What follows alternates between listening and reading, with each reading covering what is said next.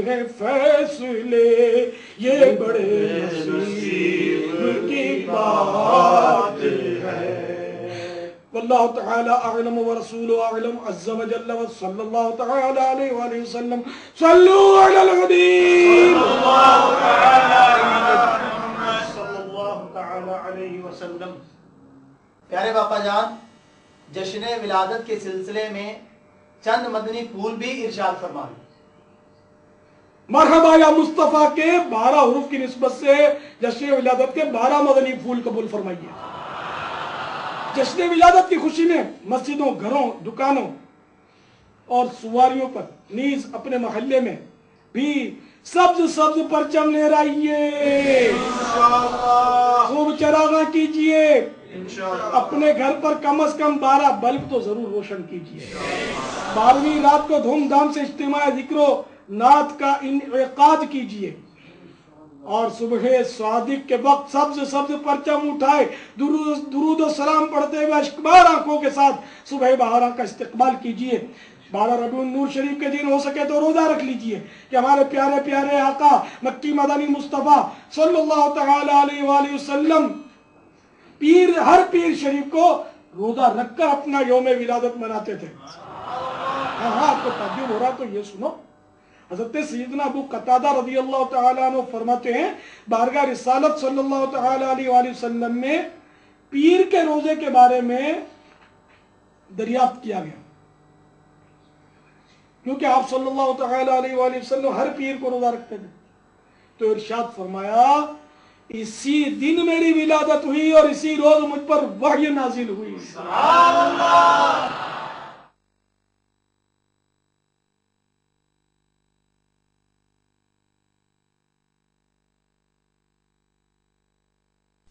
हुजूर, आपने ये दूसरी, तीसरी मरतबा सिहाह सित्ता का तस्करा फरमाया है। सिहाह सित्ता से क्या मुराद है? सित्ता छह को बोलते हैं। सिहा माने सही किताबें। यूँ कह तो ये मतलब मतलब मुहद्दिसीन की इस्तेलाह कह लीजिए इसको, कि मुहद्दिसीन जो जिन्होंने छाटियाँ की और ये तरतीबें की अहादीस की तरतीबें बहुत सारी की हैं। सब सब सब सहाबा किराम के दौर में कुछ भी नहीं था इसका। कौन सी सही है, कौन सी हसन है, कौन सी गरीब है, कौन सी ज़यीफ़ है, हदीस मतलब हदीस की अकसाम है। और जो अगर सही हदीस नहीं भी होती तो इसका मतलब ये नहीं कि वो गलत है।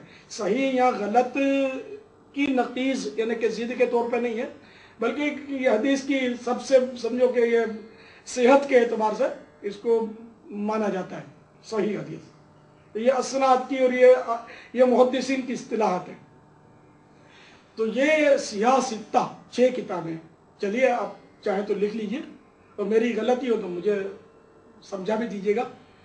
बुखारी मुस्लिम अबू दाऊद तिरमिदी नसाई इब्ने माजा। ये छः हो गई। ये सियासत्ता कहलाती तो तो मुस्लिम शरीफ भी सियासत्ता में से जो यानी कि मुस्तनद तरीन मुस्तनद तरीन कुतुब में इसका शुमार है हदीस की। मेरा आका ये इसके अलावा अगर कोई और हदीस हमें बयान करे तो हम ना माने। मैंने किया था कि वो सही हदीस ना होना इसका मतलब ये नहीं कि वो गलत है। सही ये एक इस्तिलाह है बल्कि खुद इन सही हैन में जैसे बुखारी शरीफ बुखारी शरीफ की भी बाज़ अहादीस।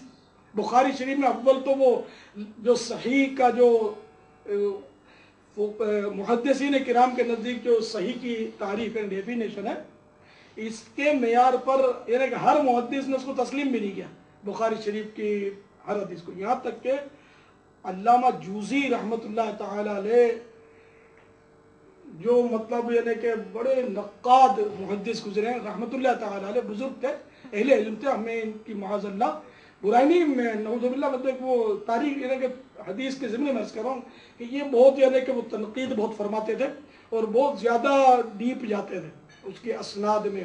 तो इन्होंने बाज़ अहादीस बुखारी की, इनको भी इन्होंने मौजू करार दिया कि बनावटी हदीसें, इमाम बुखारी की, बुखारी में भी बनावटी हैं। लेकिन दूसरे मुहदसिन ने इब्न जूजी रहमत का रद्द बलीग फरमाया। तो ये एक अल्लाह के बहस है। इसी तरह दीगर सियाह की किताब में भी बाज हदीस सही भी मिल जाएँगी। तो हदीस शरीफ जो है ना, ये इसकी किस्में जैसे हराम, हलाल, अकायद और ये सबूत जो है तो ये जैसे वो सही हदीस से लिया जाता है। अच्छा अब जैसे फजीलत है फजीलत या तरगीब और तरहीब बोलते हैं। इन्हें रगबत दिलाना और डराना। तो ये ज़यीफ दर्जे की हदीस भी इसमें काम आ जाती है। मौजू हदीस नहीं मानी जाती। मौजू का मतलब ही बनावटी होता है। घड़ी हुई और हदीस गढ़ना ये तो हराम है। क्योंकि हदीस पाक में है कि मफहूम है इस हदीस शरीफ का कि जिसने जानबूझकर मुझ पर झूठ बांधा, वो अपना ठिकाना जहन्नम में बना ले। तो ये गुनाह का काम है, हदीस गढ़ना। लेकिन लोगों ने बहुत गढ़ी हदीसें। बेशुमार गढ़ी, हर दौर में गढ़ते हैं। आजकल भी गढ़ रहे होंगे। लेकिन अब ओसे मुहदसिन नहीं रहे। पहले के दौर में मुहदसिन जैसे मुहदसिन नहीं रहे मुझ तहदीन न रहे। खुद मेरे आका हलाजत फरमाते हैं कि सदियाँ गुजर गई, कोई मुजतहिद नहीं आया दुनिया में। सदियाँ गुजर गई। बस ये कि सौ के लगभग मुजतहिदीन हुए मुजतहिदीन मुजतहिद भी एक बहुत बड़ा आलिम होता है। बहुत बड़ा आलिम होता है। उसकी शराइ इतनी कड़ी है कि इस दौर में, उस मैार पर बाद चल पड़े इश्तियात के दावे करने वाले। लेकिन उनको शायद मुजतहिद की तारीफ़ भी पता नहीं होगी या नहीं होगी। शायद पता ना हो, इसलिए वो मुझसे अपने आप को कह बैठते होंगे। पता होता तो शायद वो अपना सर छुपा लेते, मुँह छुपा लेते। हज़रत सैदना इमाम किस्तलानी, उद्देसा सिरोहन नूरानी फरमाते और विलादत बासआदत के अयाम में महफिल मीलाद करने के खवास से ये अम्र मुजर्रब यानी तजर्बा शुदा है कि इस साल अमनो अमान रहता है। और हर मुराद पाने में जल्दी आने वाली खुशखबरी होती है। अल्लाह रब्बुल इज़्ज़त उस शख्स पर रहमत नाजिल फरमाए जिसने माह विलादत की रातों को ईद बना लिया। ये इर्शाद जो है, अल मवाहिबुल्लदुन्निया जिल्द अव्वल सफहा 148 पर है। नंबर दो, ये मदनी फूल जो मैं अर्ज़ करा था, ये जो अर्ज़ किए गए नंबर एक के जिम्मे में थे। नंबर दो काबतुल्ला शरीफ के नक्शे, मॉडल। में महाजल्ला कहीं के गुड़ियों का तवाफ दिखाया जाता है। ये पाकिस्तान की बात कर रहा हूँ कि हमारे यहाँ बाबुल मदीना में इस तरह के मतलब मॉडल बहुत आवेदन किए जाते हैं। तो उसमें कहीं कहीं गुड़ियों का तवाफ दिखाया जाता है, ये जायज़ नहीं है कि ज़माने जहलीत में काबतुल्ला शरीफ में 360 बुत रखे हुए थे। हमारे प्यारे प्यारे और मीठे मीठे आका सल्लल्लाहु अलैहि वसल्लम ने फतह मक्का मुकर्रमा जाद शरफ व तकरीमा के बाद काबतुल मुशर्रफा को बुतों से पाक फरमा दिया। लिहाजा नक्शे में भी बुत, यानी गुड़िया नहीं होनी चाहिए। इसकी जगह प्लास्टिक के फूल रखे जा सकते हैं। या यह अर्ज़ करता चलूँ कि तवाफ काबा के मंजर की तस्वीर जिसमें चेहरे वाजे नज़र नहीं आते, उसको मस्जिद या घर वगैरह में लगाना जायज़ है। हाँ जिस तस्वीर को ज़मीन पर रखकर खड़े खड़े देखने से चेहरा वाजे नज़र आए, उसका आवेजा करना नाजायज गुना है।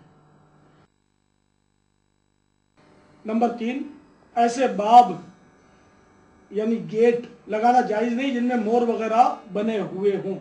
जानदारों की तस्वीर की मदम्मत में दो अहादीस मुबारक सुनिए और खौफ खुदाबंदी से लरजिए। नंबर एक, रहमत के फरिश्ते उस घर में दाखिल नहीं होते जिस घर में कुत्ता या तस्वीर हो।